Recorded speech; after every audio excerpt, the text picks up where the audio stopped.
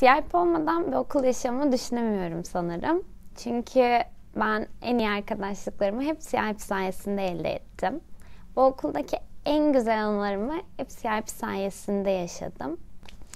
Ben e, birazcık çekingen bir insandım sanırım. E, kendimi ifade etmede bazen sıkıntılar yaşayabiliyordum.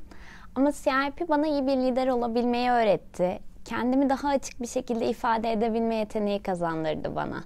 CIP bana küçük adımların aslında büyük farklar yaratabileceğini gösterdi.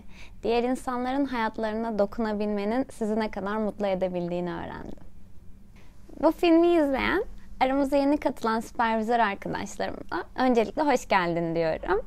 Umarım burada geçirdiğiniz her anın kıymetini iyi bilirsiniz ve CIP benim sevdiğim kadar çok seversiniz. Sizlere projelerinizde başarılar diliyorum.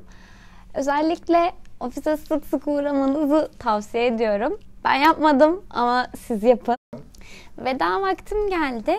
Daha önce birçok insanın vedasını izlemiştim ama sıranın bana gelebileceğini sanırım hiç düşünmemiştim. Ama bu tabii ki bir elveda değil kesinlikle.